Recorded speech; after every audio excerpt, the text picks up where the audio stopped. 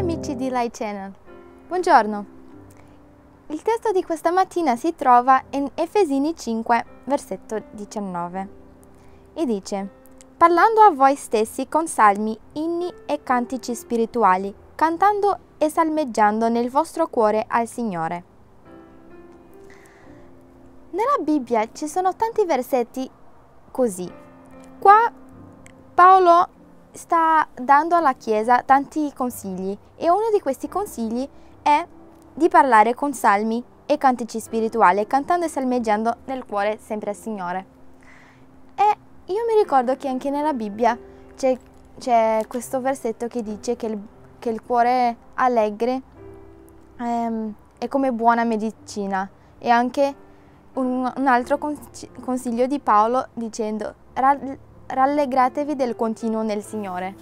È come anche un ordine, quasi diciamo, è un consiglio pesante. E io stavo pensando che qualcuno può pensare, anch'io ho pensato, ah, è carina come idea, però come si fa a parlare, a rallegrarsi continuamente nel Signore? Quando qualcuno ti... quando arrivano dei problemi, come facciamo a parlare con, con salmi e inni e cantici spirituali. Come possiamo fare questo? Sarebbe possibile? Beh, la Bibbia non ci dice, non ci dice niente di impossibile. Per questo ho pensato, quando sono arrivata a questi tipi di versetti, ho chiesto a Dio di aiutarmi in questo.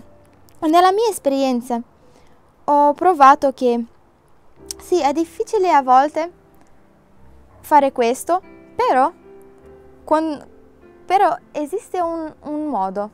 E questo è un cambiamento di pensiero, totalmente, un pensiero nuovo. E questo mi ha fatto, mi ha fatto pensare che se Dio è amore, se so che Dio è amore, se so che Dio è potente, se so che Dio è saggio, che quello che Lui che lui fa o che lui sa e che vuole è sempre il migliore. Se lui è un Dio personale che prendi cura di me, quando arrivano dei problemi, devo pensare che sono cattivi oppure che sono, sono per il bene. Devo pensare che tutto quanto accade è per il bene di quelle che amano Dio. Perché sì, quando si pensa così, quando si pensa che Dio è amore, è saggio, tutto quanto Lui fa è il migliore, possiamo cambiare idea.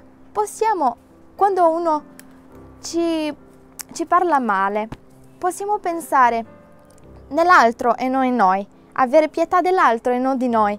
Possiamo pensare, povera persona, perché non può essere felice così.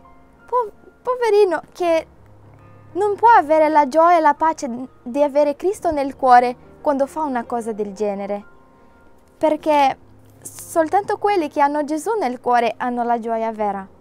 Quindi possiamo pensare ad altri e non invece di pensare a noi. Possiamo pensare che Gesù, che ci ama tanto, ci insegna quando le difficoltà della vita sono insegnamenti per, per lavorare nel nostro cuore, nella nostra mente, nel nostro carattere, per essere più in grado di fare un qualcos'altro che senza di questo non saremo in grado. Quindi,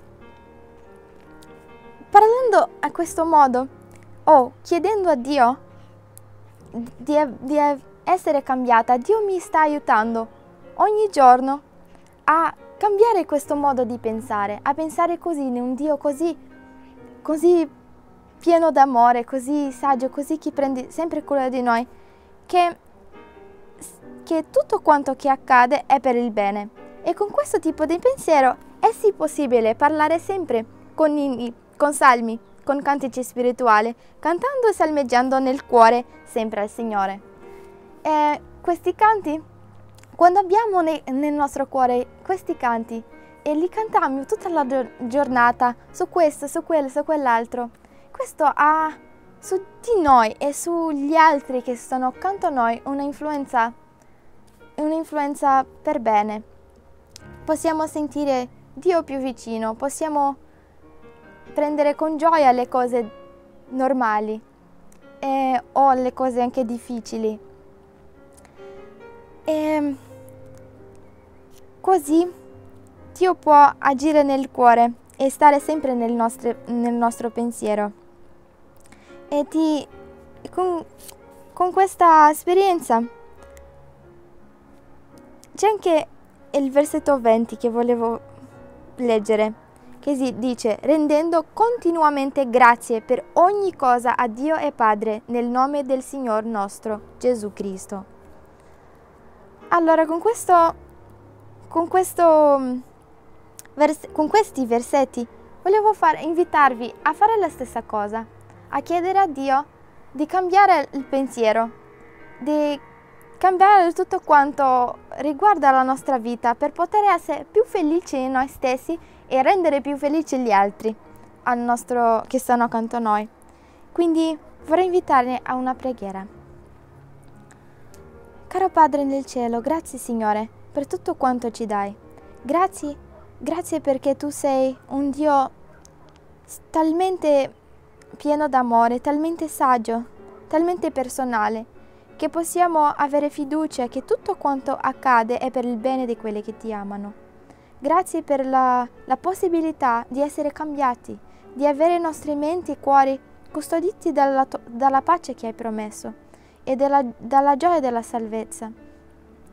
Ti vogliamo chiedere di aiutarci a avere sempre un canto nel cuore, un canto di gioia, un canto di, di lode a te, per farci più felici e per fare altri più felici, perché possiamo essere benedizione nella terra.